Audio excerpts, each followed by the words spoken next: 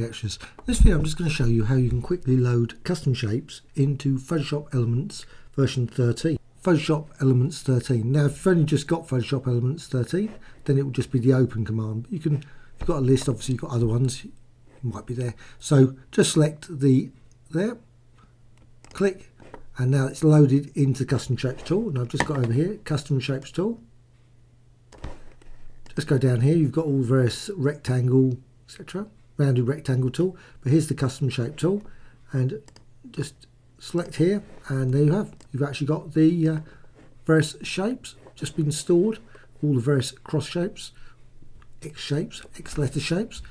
Now also you can use them in the next tool down here. I'm just going to go down to the crop tool.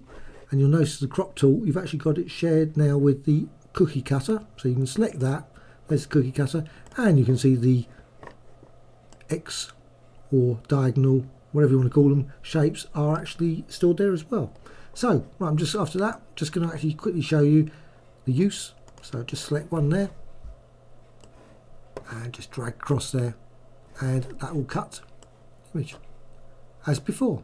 And you can do all the various things like uh, strain proportions, change the angle, rotate it around, so I'm just going to cancel that.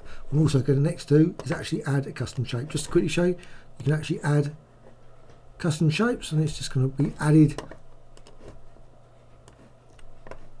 just a standard shape just there.